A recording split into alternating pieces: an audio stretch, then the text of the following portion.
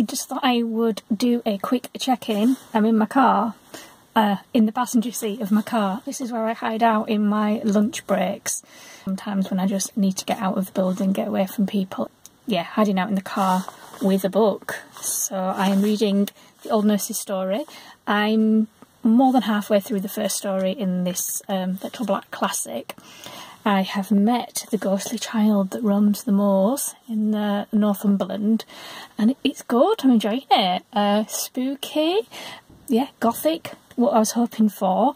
Um, this is the first thing I've ever read by Elizabeth Gaskell, and I really like her writing style. This has been a really good introduction so far to Elizabeth Gaskell's books. Um, it's making me want to read other things that she has written, so I'm enjoying that. I've also been listening to Agnes Grey by Anne Bronte, um, as narrated by Amelia Fox. I'm not sure I could say I'm enjoying that one quite as much. I enjoy the writing style. It's definitely making me want to read something else by Anne Bronte. I've not read anything by her before but it's just the kind of the theme and the topic that I think I'm not feeling that engaged in. Um, I just feel incredibly sorry for uh, Agnes Grey doing this kind of job with these obnoxious people. but I suppose that was the point of the book. She was trying to highlight to people what it feels like to be a governess and how governesses are treated. But then obviously a lot of people did jobs where they weren't treated very well in the Victorian era. Um, I don't think governesses were exclusive to that. Um, it is making me reflect and think about how kind of Victorian societal expectations were placed on people in terms of what they could say and what they could do and what they could wear. And I think I'm about halfway through the book, maybe yeah, about halfway through listening. It's okay. I'm glad I've, I'm glad I'm listening to it because I would like to list, uh, either listen to or read all of the Bronte sisters' works, but it's I don't think it's going to be my favourite Bronte book. So that's where I'm at with that so far. Okay, so that's where I've got so far. Just a quick check-in. Better get back to work.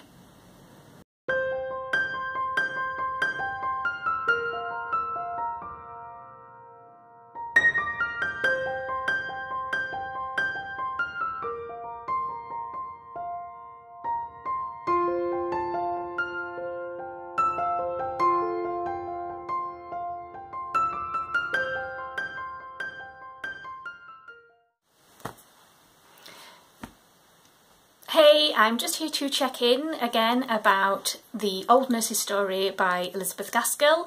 I have finished the first story, which is The Old Nurse's Story, which is the first two short stories in this little book. I enjoyed the first story. I thought it was really atmospheric. To me, it felt like a kind of traditional ghost story. It is based on a nurse who is reflecting on a time when she was a much younger nurse. She's caring for a young girl called Rosamond. The early part of the story focuses on how they come to find themselves living in a very isolated, remote, gothic mansion. And they're both living there with an elderly relative of Rosamond called Miss Furnivall. Yep, Miss Furnivall and her and her companion. And it's when they're living in this house together that the nurse and Rosamond start to experience some strange and unsettling occurrences in and around the house. I'm not going to say any more than that about this book because it is only a really short story, so if you're interested to pick it up, I don't want to give any spoilers away.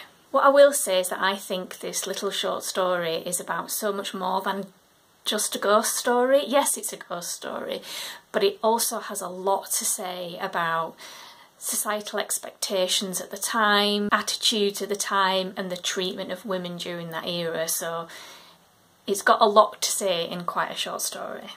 With regards to the second short story in this book, which is called Curious If True, you will see that this book still has a bookmark in it. And I am about halfway through the second story and I've just not wanted to pick it back up again.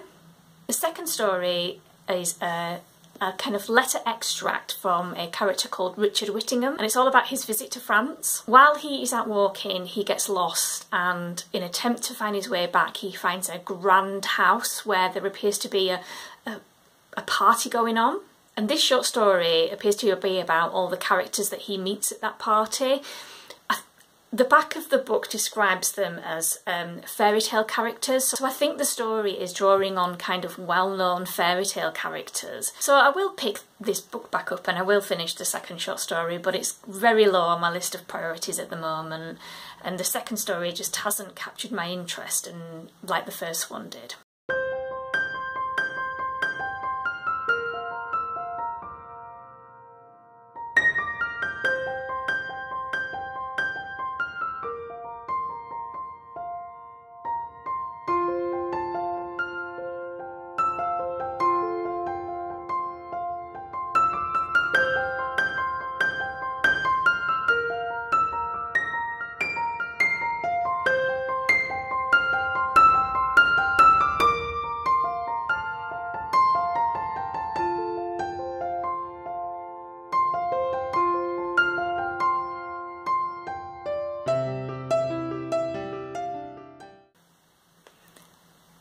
Again, I'm just here to check in with you about how I have got on listening on audiobook to Agnes Grey by Anne Bronte. You will have seen from a previous clip that I wasn't particularly um, enjoying listening to the first half of the audiobook. And I think on reflection that's to do with my own personal feelings towards the English gentry, maybe. The first half of the book is very much about Anne trying to deal with the privileged offspring of certain families for whom she works as a, governess for, the Bloomfields and the Murrays being two of those families. What the book does do is it really highlights how these privileged families treated were treating their governess and how they attributed ridicule and blame to the governess for the way their the children were turning out, even though the parents didn't seem to be taking any responsibility for the raising of their own children. This book has been described as somewhat autobiographical in the sense that Anne Bronte worked as a governess for five years herself. So you do get the sense that she's probably drawing on her own personal experiences of working with different families. But for me, this felt like a book of two halves. Throughout the book, I did find Agnes's character very engaging, and I liked Agnes.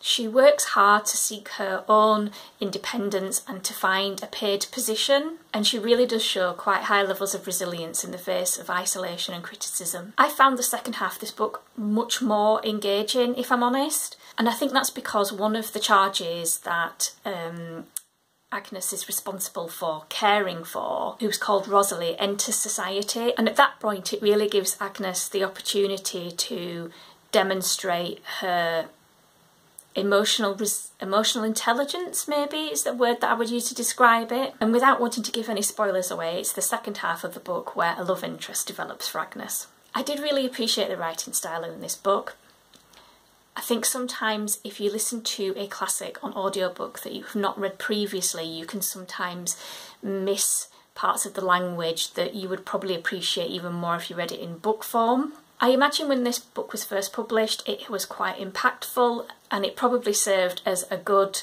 um, preparation for other young women who were contemplating becoming governesses at the time.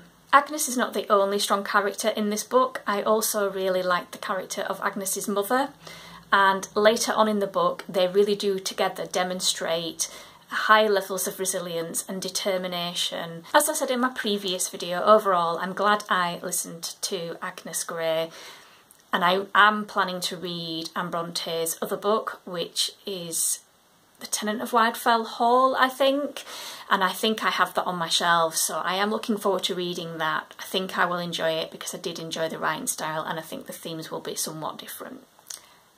So I've also started reading my next Victober book which is The Strange Case of Dr Jekyll and Mr Hyde by Robert Louis Stevenson. I'm really enjoying this book so far.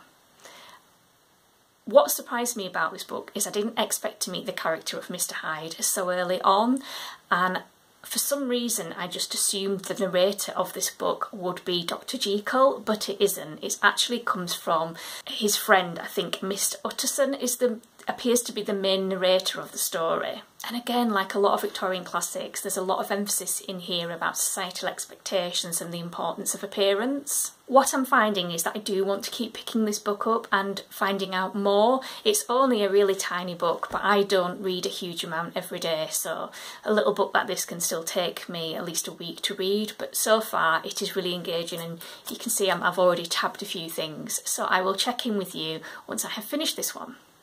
Bye for now.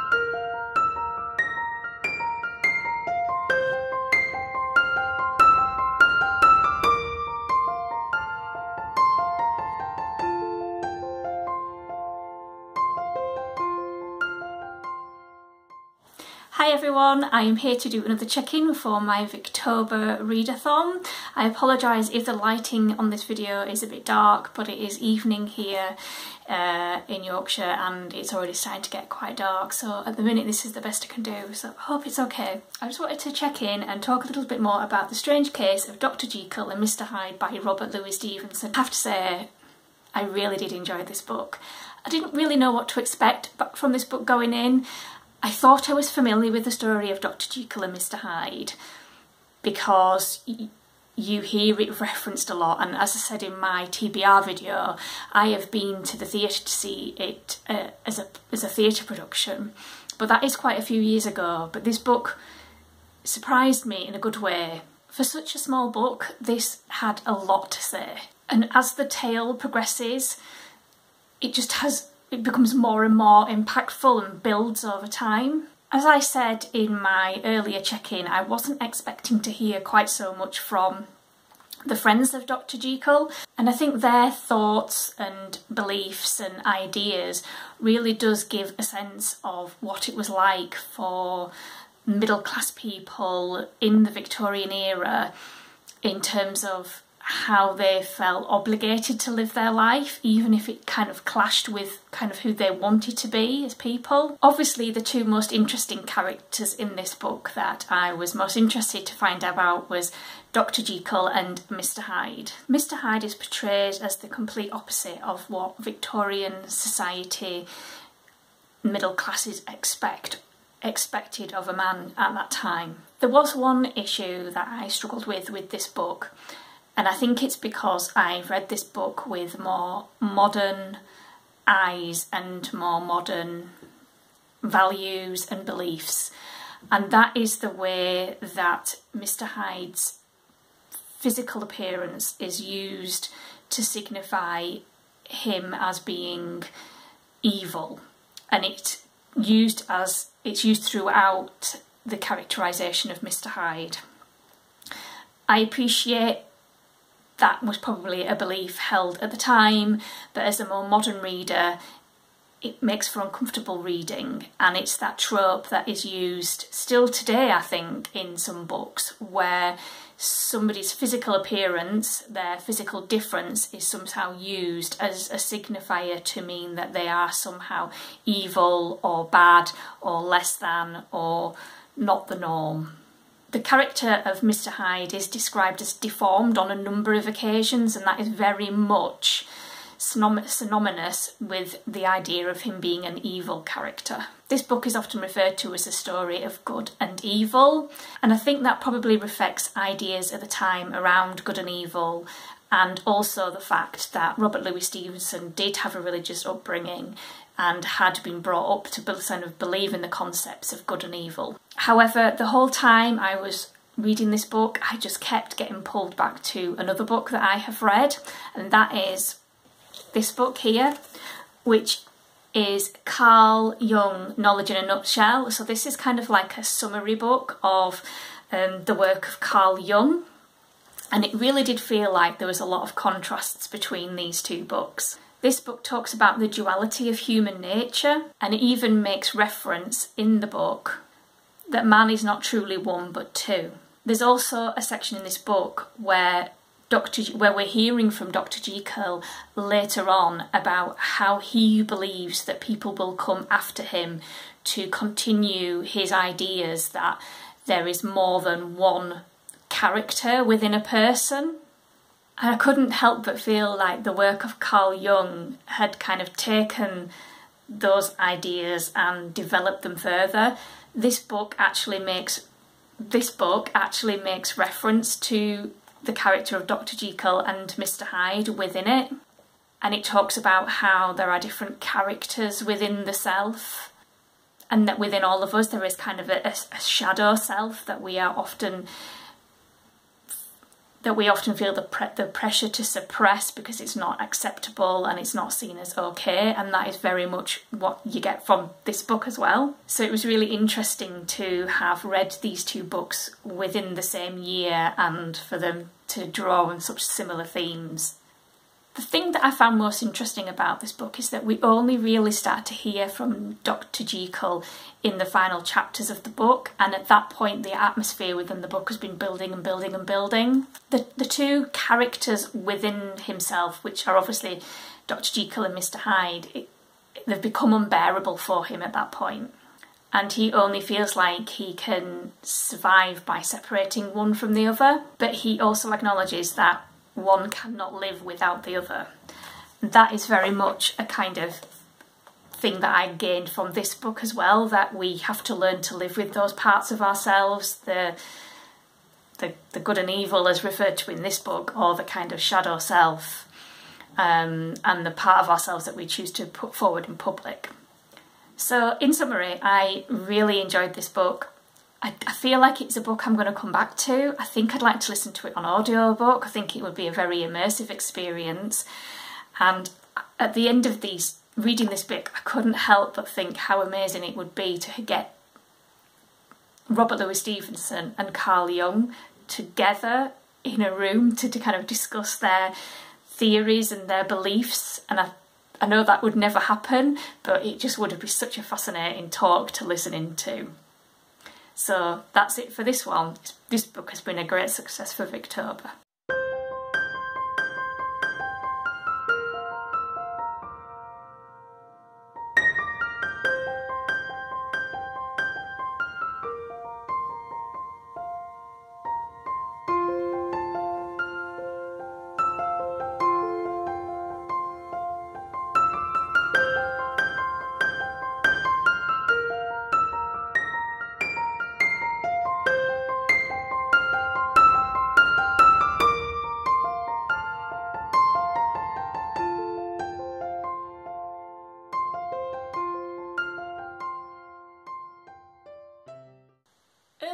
In this video you have seen a bit of a vlog, what started out as a vlog, started out as an, as an autumn vlog.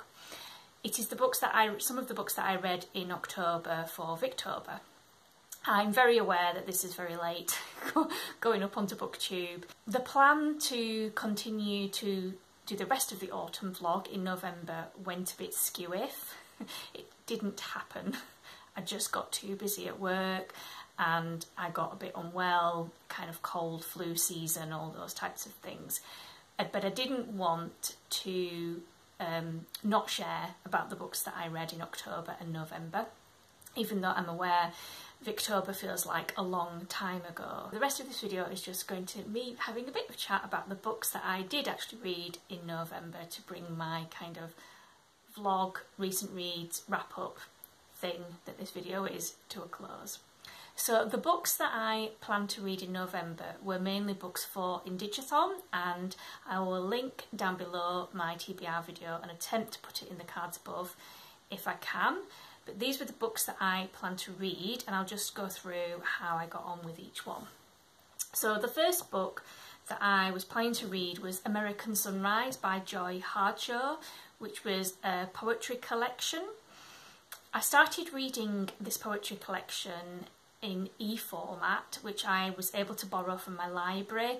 I don't have an e-reader so I was trying to read the poetry collection on my tablet and I struggled to be honest with you. I struggle to use an e-reader. It's something I've tried and dismissed in the past, and something I found very difficult to focus on.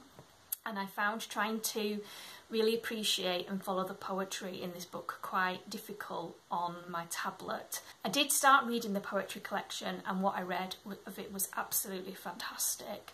It was a very moving poetry collection. For that reason, what I have done is I've added it to my kind of wish list of books that I hope one day my library might have a paper format or if not that I will, might be able to purchase this poetry collection at some point. But for anyone that's interested, I'll kind of summarise what I did get from the poems that I read so far before I decided that the format wasn't working for me.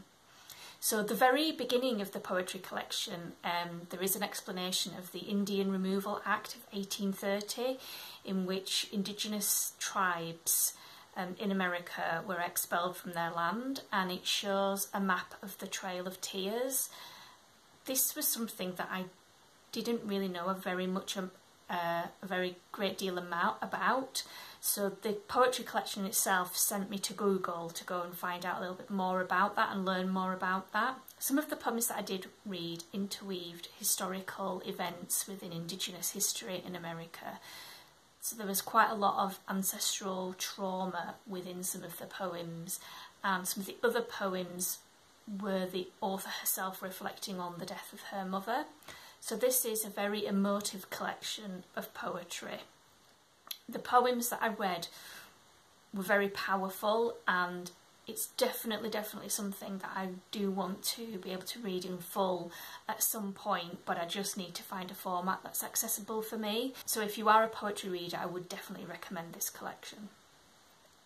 The next book that I started in November for Indigathon was The Yield by Tara June Winch. So I listened, started listening to this book on audiobook. The narrator of this audiobook does an absolutely fantastic job with the narration. The narrator is Tony Briggs. The book is written and narrated in a very lyrical style.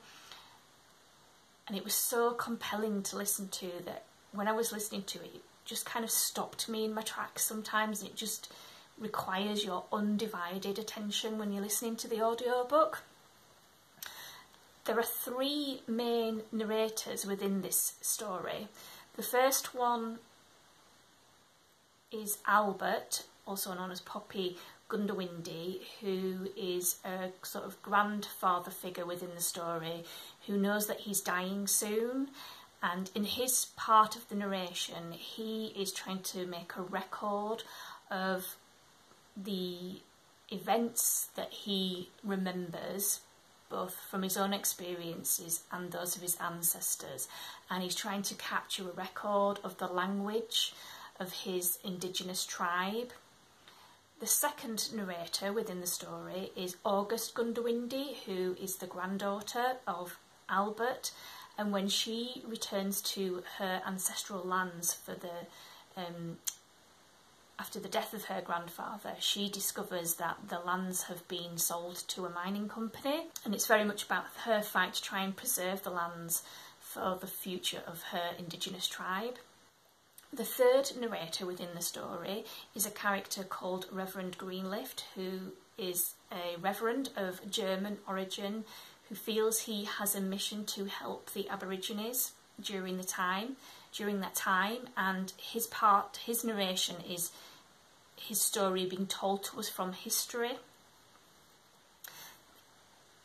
The story that Reverend Greenleaf tells us is very poignant and it shows that despite his attempts to try and support and in and help the Aboriginal people during his time that he just repeatedly comes up against disdain and indifference from the authorities.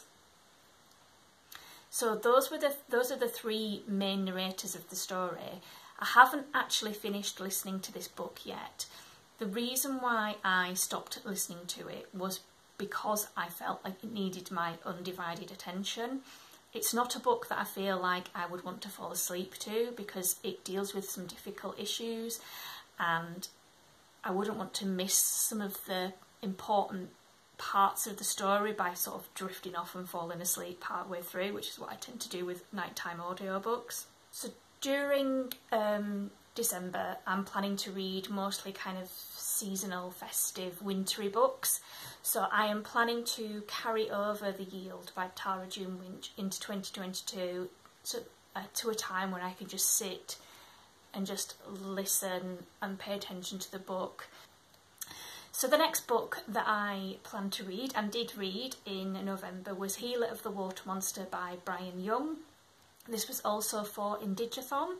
This is a middle grade book about a young boy called Nathan who goes to visit his grandma Nali at her mobile summer home in an, at the Navajo reservation. And what happens is one night Nathan is um, out um, on the reservation when he comes across a um, water monster in need of his help. And the book is all about his journey to try and help the water monster. The water monster comes from the Navajo creation myth and before reading this book it was something that I didn't know anything about so I did find myself stopping the book to go to good old Google uh, to find out a little bit more and try and understand a little bit more about that. One of the characters in Nathan's life um, was his uncle Jet who brings with him some difficulties when he returns to the reservation. He is um, a person who's was a member of the forces, so he's an ex-forces person, and he has a lot of difficulties with alcohol dependency and mental health issues. So this book does tackle some difficult issues, and Nathan tries to help his Uncle Jet within the story as well. The one thing that I struggled a little bit with this book is that it has quite a lot of magical realism within it. And I am not sure if magical realism is a genre for me every time I've picked up a book that's got quite a bit of magical realism in it, I, I sometimes find myself sort of thinking, what's going on here? Trying to sort of apply too much logic to it and work out what's happening. So there was a few times in the book, just small parts of the book, when I was a bit like, what, what on earth is, is going on here? Um, but that's more about magical realism not being my genre rather than there being anything wrong with the book. So it was a really lovely bedtime listen actually. And then the final book that I read for Indigathon was The Soul of an Indian by Charles Alexander Eastman. This was a short um, audiobook that I listened to, which is available on the Audible Plus catalogue. If anybody is an Audible member, it is something that is available um, as a free kind of edition. This book is very much written of its time. So this book was actually published in 1911. So throughout this book, Charles refers to himself and his indigenous community as Indians and refers to the non-indigenous community as kind of white men or settlers. But I think it's about recognising that was the language, common use language at the time of publish, publishing this book. Within this book, Charles contrasts his life growing up within his indigenous community. So he was a traditional woodland Sioux, and that's how he was uh, raised as a child. He talks about the traditions, the beliefs, the values, spiritual practices, and the relationship that his indigenous community had with the natural world as he was growing up. And he intersperses that and contrasts that with his life after he became what he refers to as civilized, which is obviously at the time what he was taught to believe. Um, that once he kind of joined the um, white man, I suppose, and converted his religion. I think he converted to Christianity. Throughout the um, book, he recognises that connection and the relationship with the natural world that he had was far greater and far more symbiotic, I suppose is the word I would use, when he was within his Indigenous community. So it covers themes like that. Um, it's def definitely something that I think would be interesting to people who want to find out a little bit more. And I think Charles Eastman is, is a interesting person that I am planning to kind of read a little bit more about and find out a little bit more about him because he sounds like a very interesting character. And then there were two more books that I um, read in November. The first one is The Women of Heachley Hall, which I have here, by Rachel Walkley. This was a book that I picked up just to kind of, it was my bedtime read book in um, November. As I said, I was having quite a difficult time with work and a few health issues, so I wanted something that was really easy and not going to be a challenging read and not going to have difficult themes. So this was the book that I picked up. This is a sort of contemporary fiction, I suppose, intertwined with some historical fiction about a woman called Miriam who discovers she has um, been left uh, Heachley Hall by her great aunt Felicity. So she's inherited Heachley Hall, but only within conditions. So there's an unbreakable condition within the will of Aunt Felicity that says Miriam has to live in the property, she has to live in the hall for a year and a day to be able to either keep the property and live in it or sell the property. At the time, at the beginning of the story, obviously Miriam doesn't know why that is and she has not had any contact with Aunt Felicity since she was a small child, so she doesn't know anything about the backstory. So this was a really nice, easy read for me in November, which was kind of just what I needed. The book starts out in autumn. It's quite spooky, it's a bit creepy. There's some spooky woods surrounding the house where um, Miriam is staying, Heachley Hall, and she can sense there's something in the woods or senses a presence in the woods. And there's also these unexplained happenings within Heachley Hall when she's staying there. She's living there by herself. The conditions of the inheritance is that she does have to live there alone. And then the book moves through time through winter, so it was quite nice because as I was reading this book, it started to feel very, very wintry here in North Yorkshire. We had a, our first very heavy bout of heavy snow, so I was sort of reading along as winter appeared in this book. It felt like winter was appearing here as well. So she has to live in this very de decrepit house by herself.